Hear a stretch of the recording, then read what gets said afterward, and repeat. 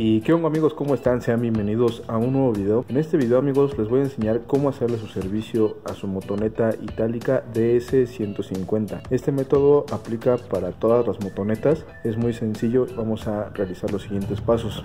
Y bueno amigos, pues el primer paso que vamos a realizar para hacerle nuestro servicio a nuestra motocicleta itálica es el cambio de aceite. Vamos a requerir de un aceite de buena calidad, mejor que el de Itálica, claro. Pues para realizar el cambio de aceite de nuestra motoneta nos tenemos que dirigir a la parte del lado derecho donde se encuentra el escape y aquí va a estar, aquí se va a encontrar lo que es la bayoneta de nivel de aceite.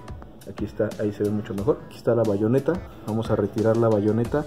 Esto para que no haya ningún tipo de vacío al momento de abrir el tapón de drenado de aceite. Y en la parte de abajo, justamente donde está el ventilador, seguimos el escape y en la parte de aquí abajo nos encontramos con el tornillo. Ay, güey, el tornillo de drenado de, aceite. Vamos a tener que poner un recipiente para que ahí va a caer nuestro aceite totalmente mugroso. Vamos a ocupar una llave o, una, o un dado 17 milímetros con una matraca. Para aflojar un tornillo siempre es al contrario a las manecillas del reloj o hacia el lado izquierdo. Vamos a darle. Está flojo ya. Ya nada más vamos a aflojar con el dado. Tengan cuidado porque aquí está el escape está un poquito caliente. Bueno amigos, como pueden ver aquí está el, tapón de drenado de aceite. Esto lo vamos a dejar escurrir de unos 3 a 5 minutos. Vean nada más cómo estaba de asqueroso. Y bueno amigos, pues ya que le retiramos el tapón de drenado de aceite, si se acuerdan que salió este pequeño resorte? Bueno, pues en la parte de acá adentro tenía este sedazo es un sedazo de metal y lo único que hay que verificar en esta pieza es que no tenga ningún tipo de suciedad. Si es así, y si es así, hay que limpiarlo con un poquito de Carboclean. Bueno amigos, aquí está el Carboclean o limpiador de cuerpos de aceleración como quieran. Así que vamos a poner el sedazo aquí. Vamos a dar unos chisguetes aquí abajo para que no salga volando precisamente el sedazo. Y listones de colores amigos, ya quedó como nuevo. Ahora sí, vamos a colocar el tapón. Vamos a colocar el resorte, el, sedazo y vamos a introducirlo. Ya que está colocado en esta posición amigos, vamos a ejercer un poco de presión hacia el tapón y vamos a girar despacio. Todos los tornillos que ustedes metan o tuercas tienen que entrar despacito. Si sienten que se están forzando es porque están entrando chuecos y los pueden llegar a barrer si le dan más fuerte apretamos y ahora sí apretamos hacia el sentido de las manecillas del reloj. Vamos a darle al llegue y un cachito más o a la segunda vena de aquí del brazo. Y bueno amigos pues el siguiente paso sería rellenar de aceite el motor. Yo estoy yo voy a utilizar este aceite mineral de la marca de, de Repsol Castrol ya les iba a decir. Me quedo acostumbrado a la gama automotriz vamos a rellenarle. Según el manual marca que esta motocicleta bueno este motor de esta motoneta debería de llevar 800 mililitros de aceite como pueden ver este marca un litro de aceite pero yo solamente le voy a meter los 800 que dice el manual lo que quiere decir que le voy a dar le voy a echar todo nada más que me sobren 200 mililitros de aceite. Le voy a echar con un embudito. Aquí vamos a introducir el aceite. 800 mililitros nada más. Ay papantla tus hijos vuelan ya con esto 40 caballos más amigos. Con el puro aceite. Cuando la arranquemos va a sonar así como la FZ06. Y bueno amigos, pues ya terminamos de, ahora sí que de meter el aceite al motor. Vamos a introducir nuestra bayoneta. La vamos a meter nada más hasta, hasta donde dé sin darle rosca y la vamos a sacar. Nos debe de marcar el nivel. Nos debe de empapar todo lo que es la bayoneta hasta la parte de aquí. Si está empapada de aceite, quiere decir que el nivel es correcto. Después de, este procedimiento es recomendable usar la moto unos cuantos kilómetros, dejarla que caliente y volverle a checar el aceite siempre con el motor apagado. Si lo hacen con el motor encendido, la fuerza del cigüeñal y todo va a hacer que el aceite les bote por aquí y hay que meterle aceite nuevo. Así que con el motor apagado, no se les olvide. Y bueno amigos, pues el siguiente paso para hacerle el servicio a su motocicleta o su motoneta sería el cambio de la bujía. En este caso yo, voy a utilizar una bujía de la marca MGK. Es una bujía convencional de cobre, es la marca que a mí me gusta y la bujía de cobre en especial es la que más me gusta. Las bujías de cobre son los mejores conductores amigos que puede haber si no se dejen engañar que por el iridio o el platino. Lo único que hace eh, las bujías de iridio o las bujías de platino es darnos más durabilidad en el, electrodo central de la bujía. No nos da más potencia, no nos da más eficiencia en el quemado de la gasolina. Es este, eso es mentira. Una bujía, una bujía ideal sería una bujía de cobre. Para cambiar la bujía amigos nos vamos a dirigir a la parte frontal de la motocicleta y vamos a encontrar esta tapita debajo del asiento Aquí va, aquí va a estar un tornillo de cruz, el cual ya quité. Y de esta manera vamos a quitar la tapa frontal. Con un introduciendo un pequeño desarmador de punta plana, le hacemos palanca y retiramos la, la tapa de la parte frontal. En esta parte podemos observar amigos donde que está la tapa de punterías y ese, esa pieza negra que ven ahí al fondo es el capuchón de la bujía. Eso solamente hay que retirarlo con la mano. Metemos la mano, si está caliente tengan cuidado de tocar las partes metálicas. Haciendo un poquito de palanca vamos a retirar. Lo único que hay que revisarle al cable de la bujía es que no esté fisurado, que no esté roto, que no esté quemado. Al parecer este está bien, nada más está cochino. Y el siguiente paso sería meter un dado de 5 octavos. Aquí lo que yo les recomiendo es primero meter, primero introducir el dado, cerciorarse de que ya está dentro de y ya cuando se fijaron que está dentro de la bujía ya podemos meter nuestra matraca. Si no tienen esta matraca, fíjense, revisen sus motos amigos porque luego en las motos tienen herramienta y normalmente viene el dado de 5 octavos. La manera de aflojar es la misma, nada más vamos a girar hacia el contrario de las manecillas del reloj. Subimos y aflojamos. Ya cuando aflojó yo lo que hago es retirar la matraca amigos y aflojarlo con la mano. Lo aflojamos con la mano con cuidado de que no se nos caiga la bujía. Y aquí está amigos. La bujía, esta es la bujía vieja. El electrodo se ve, se ve bien.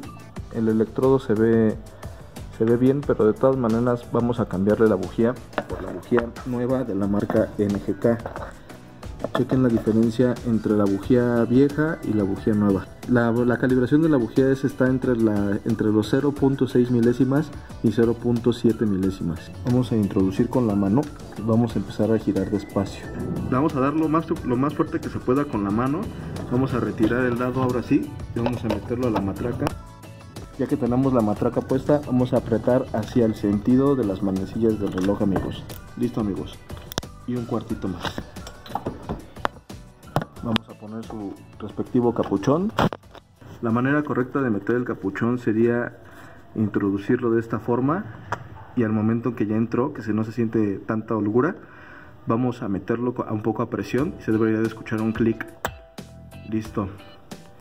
Si se fijan, queda al ras de la cabeza entonces no deberían de tener ningún problema al ponerlo y acomodar el cable de manera que no esté chocando con ninguna parte que no esté rozando para que así no tengan problemas con el, con el cable ni con la corriente de la bujía ese sería el paso para cambiar la bujía vamos a ponerle su tapita y su tornillo. Y bueno amigos, pues el siguiente paso que deberíamos de realizar para hacer el correcto servicio a nuestra motocicleta es cambiar el filtro de aire. En esta motocicleta vamos a abrir el compartimiento de la cajuelita donde tenemos el asiento.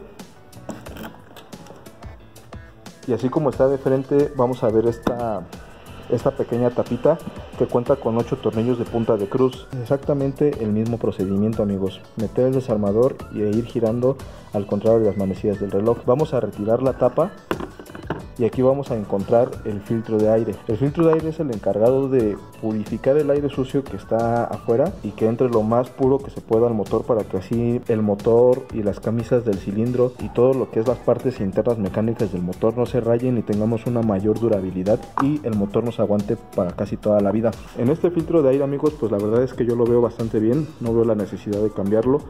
Si acaso lo único que voy a hacer va a ser sopletearlo. Si ustedes no tienen un compresor para sopletar su filtro de aire, pueden ir a alguna vulcanizadora o alguna gasolinería y ellos tienen aire y le pueden dar, le pueden sopletear. La manera correcta es para sopletear el filtro de aire, amigos, es de la parte de, de adentro hacia afuera, no de adentro, no de afuera hacia adentro, porque en ese caso nada más estarían incrustando más el polvo que ya está acumulado aquí en esta parte. Bueno, ya que está sopletado nuestro filtro de aire o si el de ustedes está muy asqueroso, lo compraron, vamos a ponerlo ahora sí que en la admisión de esta manera. ahora sí que la parte que es de mayor diámetro va hacia abajo y la parte de menor diámetro va hacia arriba. Vamos a meter nuestra tapa de filtro de aire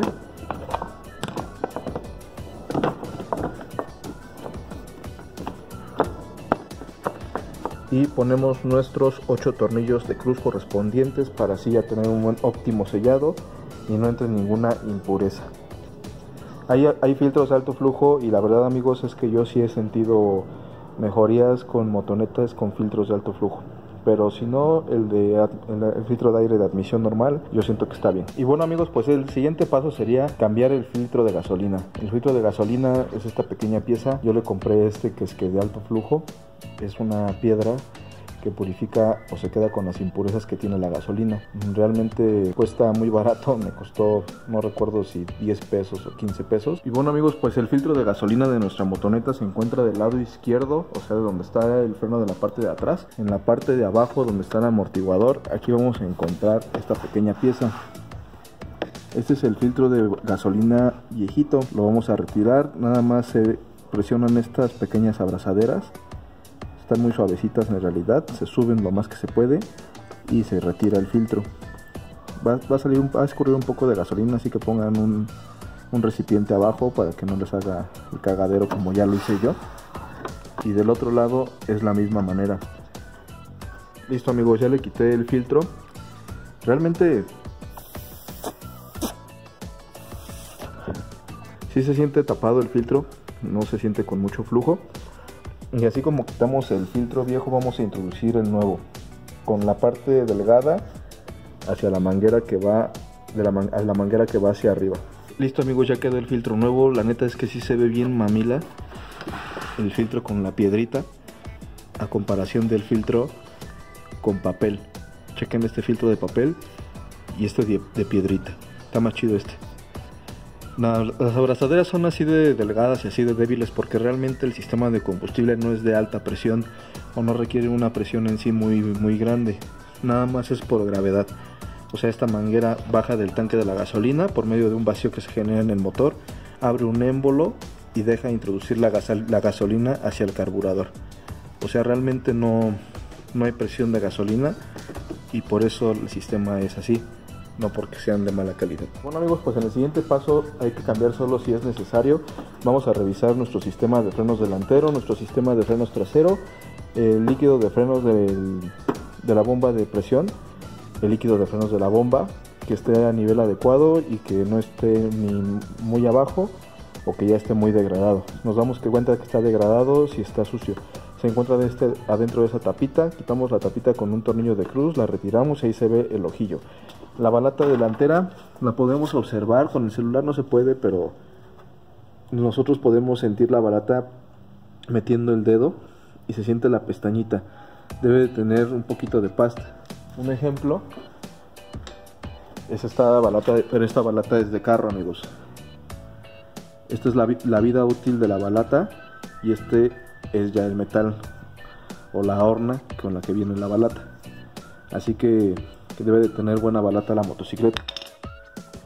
En el freno trasero no debemos de tener mucha holgura amigos, si acaso unos 20 milímetros de holgura y ya de ahí lo demás es frenado.